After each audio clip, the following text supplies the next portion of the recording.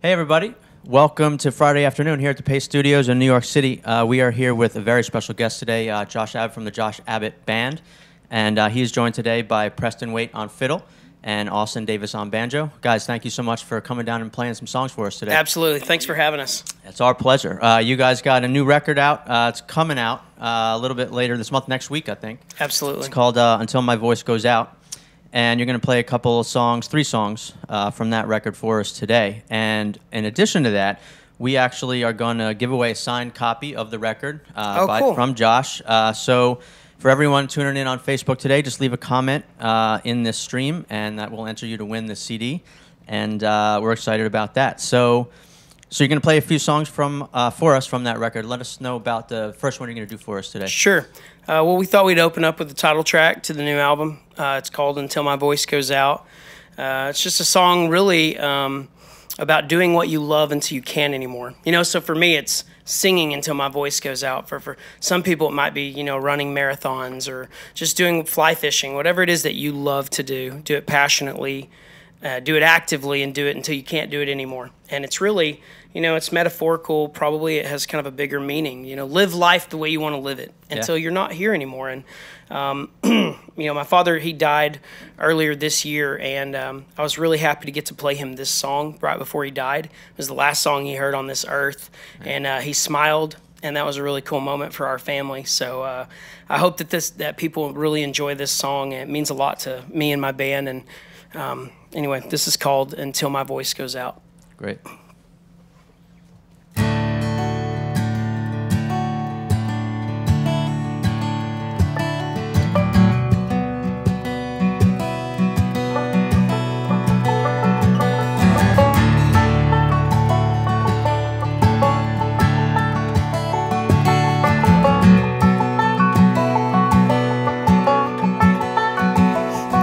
I wanna sing my songs till my voice goes out.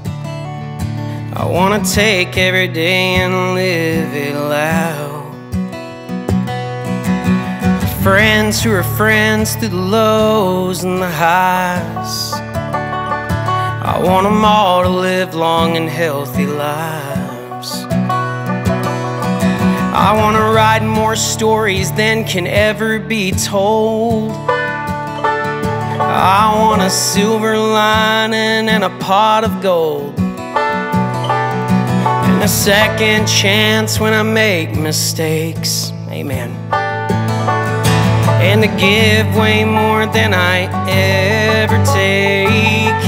And I want you holding my hand, lover and my best friend. I want you telling me I'm yours up until the whole thing ends. Sounds simple, but it couldn't be more true. I want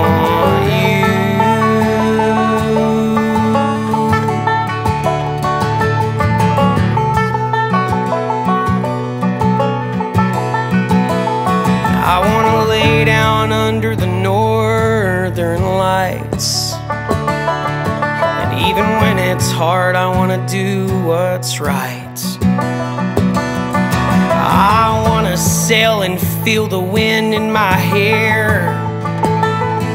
I want a whole lot of truth and a little bit of dare. And I want you holding my hand, lover and my best friend. I want you telling me I'm yours up until the whole thing ends. Sounds simple, but it couldn't be more true.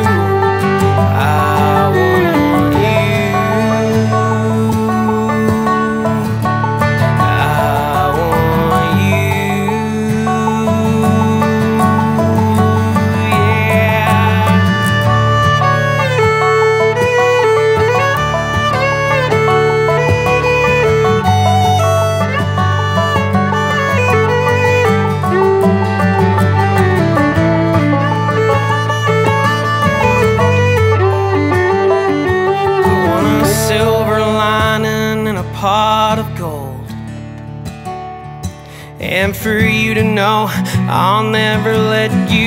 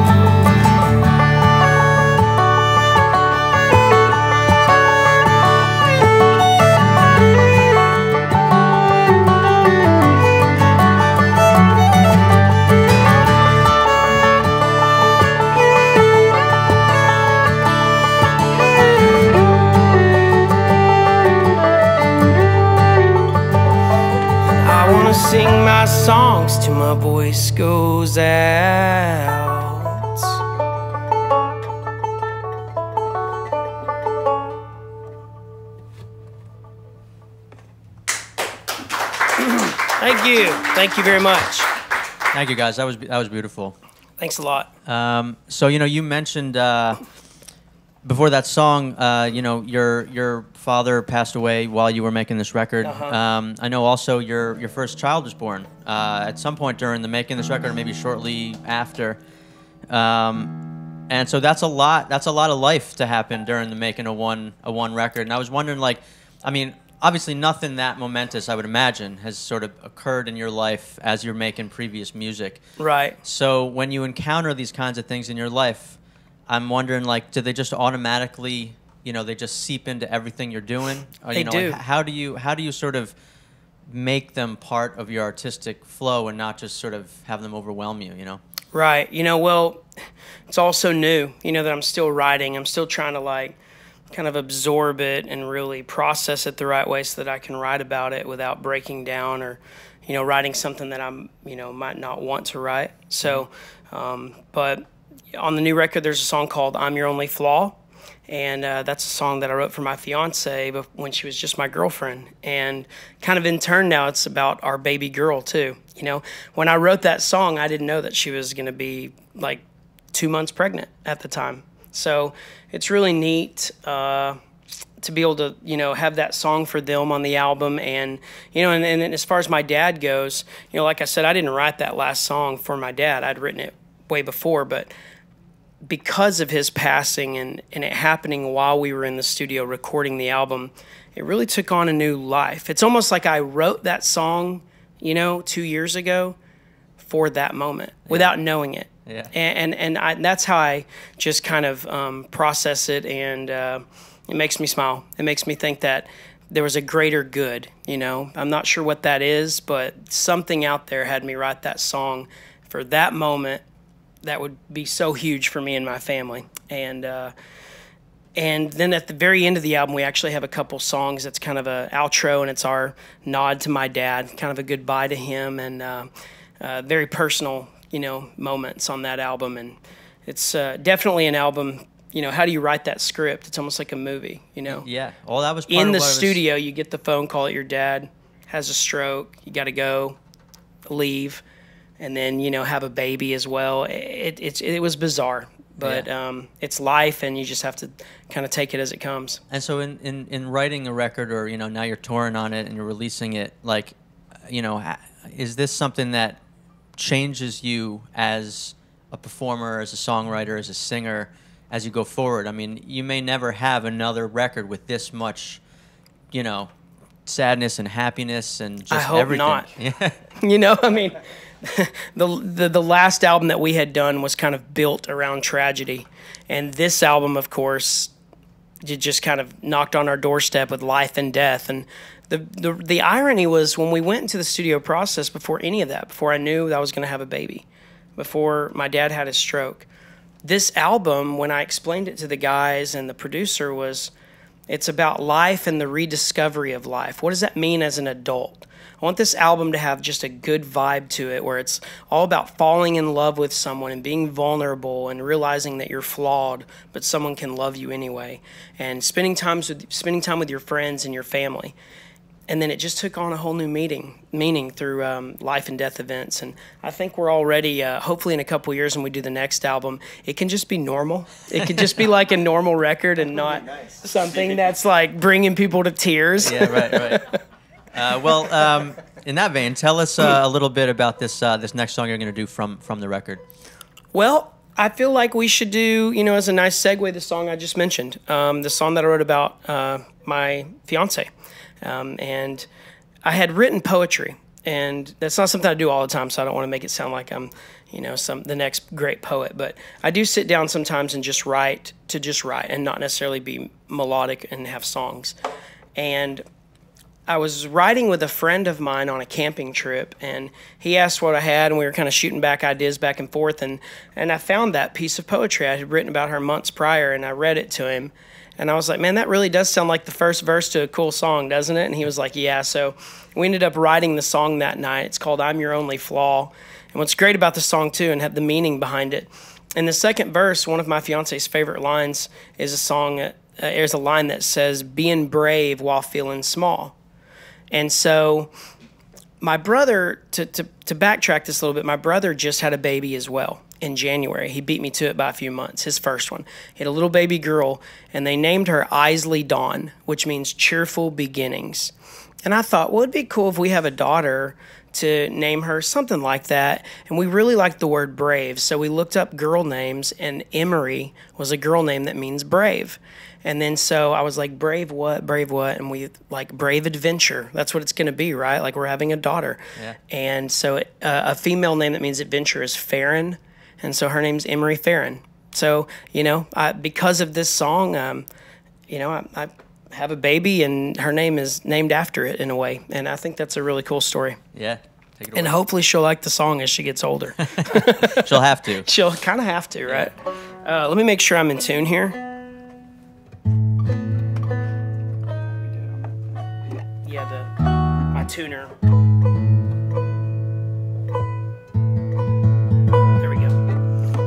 Tuner went out. That happens. Uh, you know, technical difficulties happen sometimes. Yeah, yeah. Hey, we all just do My it. tuner by went out right when I was, here, you know. We play it by ear, literally. Well, one of the worst things you can do is have a lead singer tune the guitar and tell everyone they're playing uh, in tune with him. that like really starts to scare people. So, anyway, this is called "I'm Your Only Flaw." Law. I'm your only flaw. oh my goodness.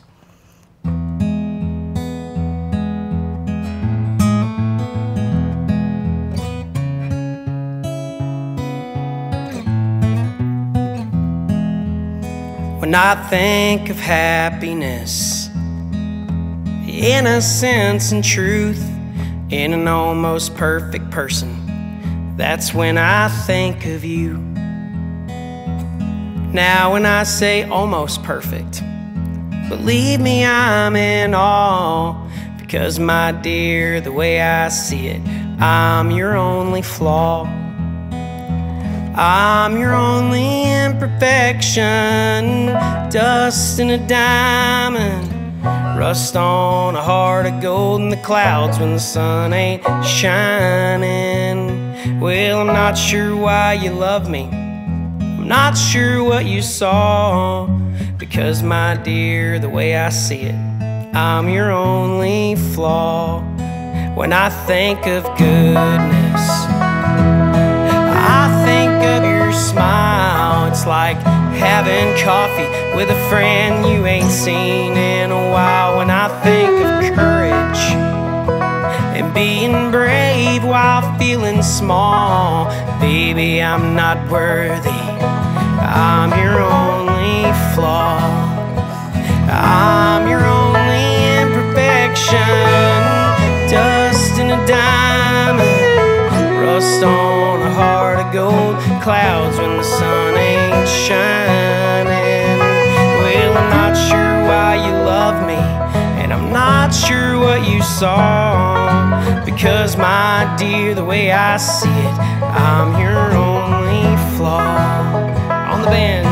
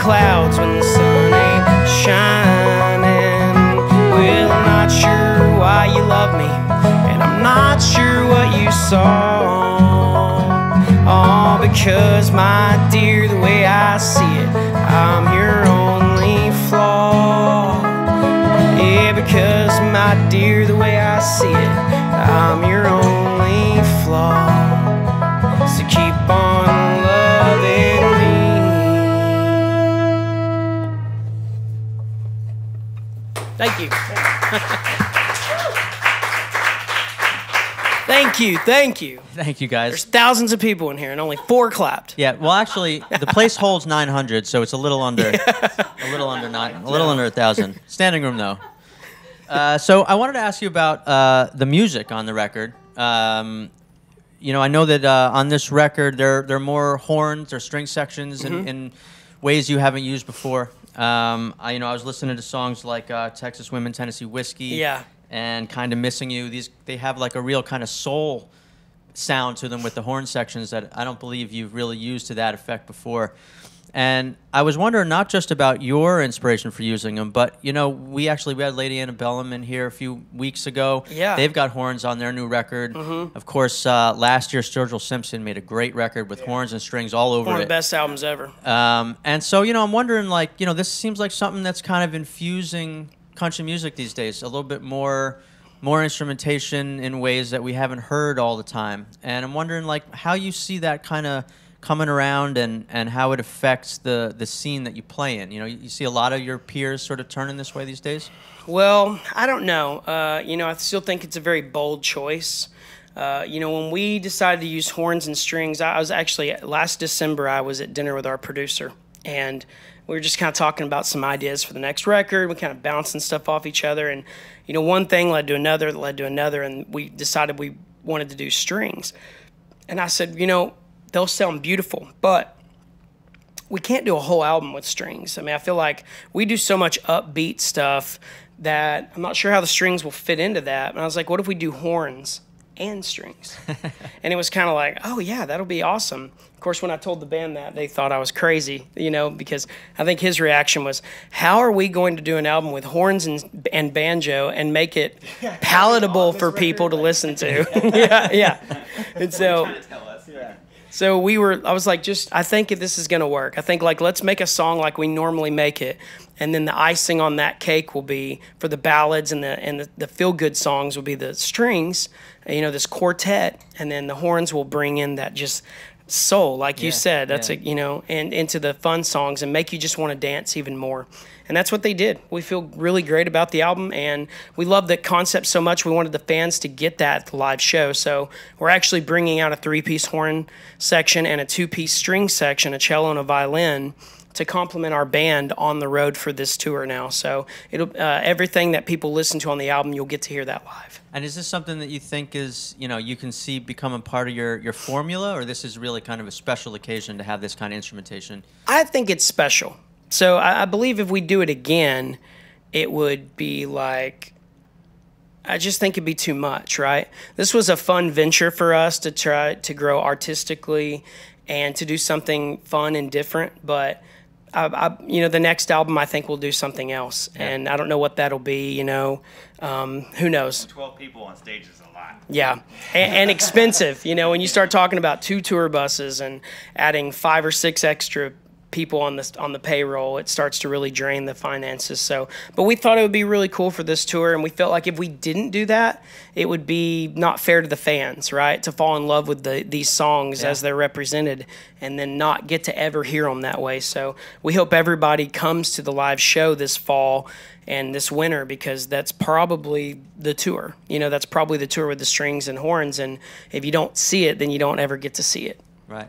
All right, cool. So uh, tell us a little bit about this uh, this last song you're going to do for us today from the record. Well, I think the guys wanted to do a song called Whiskey Tango Foxtrot, you know, which stands for WTF. And I, I went, I wrote this song with a friend of mine in Nashville. His name's Rodney Clawson. He's another Texas guy, but he's lived up there forever and he's written so many great songs.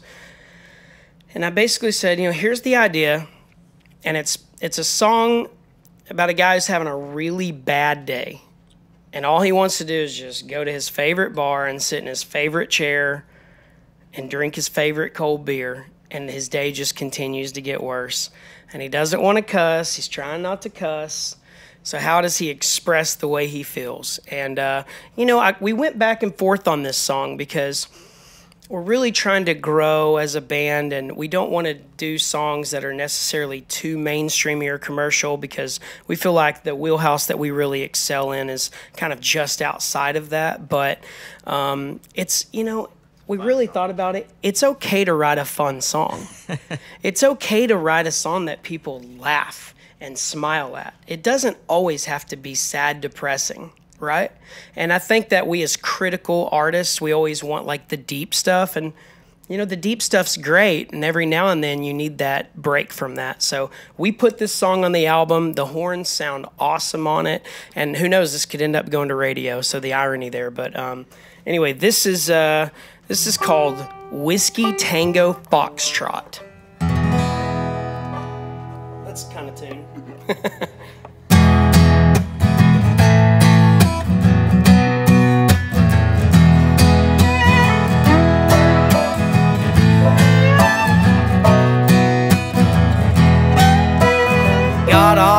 was trying to get off early. Old lady at the light just flipped me the birdie. I got pulled over cause I was in a hurry. Well, thanks a lot, officer, good day, just great. Now I'm later than I was, and all I really wanted was to catch me a buzz. I finally got there, but somebody's in my chair. I'm doing my best, trying not to swear, but whiskey, tango, foxtrot. Why the hell not say what I'm thinking? Cause when I'm drinking, it's hard to stop once I start. Like the guy next to me, talking off my ear, but I just came in here to have a cold beer. But guess what? It's not. It's hot. Whiskey Tango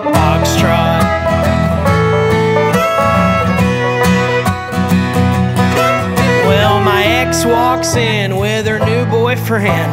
And let's just say it wasn't a happy ending. I'll take it as a sign for me to leave, but I can't find my keys. Jeez, whiskey, tango, foxtrot. Why the hell not say what I'm thinking? When I'm drinking, it's hard to stop once I start. Like the guy next to me talking off my ear, but I just came in here to have a cold beer and unwind until closing time. But my cards declined. Whiskey Tango Foxtrot.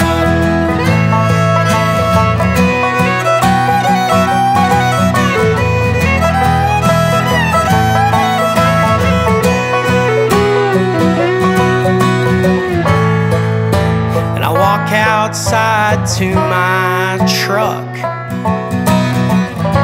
The keys are locked inside, just my luck. What the whiskey? Tango, foxtrot.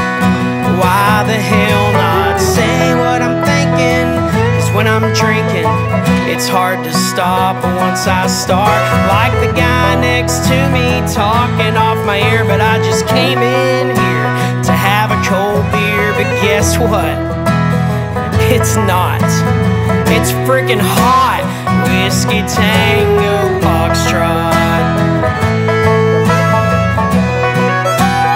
Whiskey Tango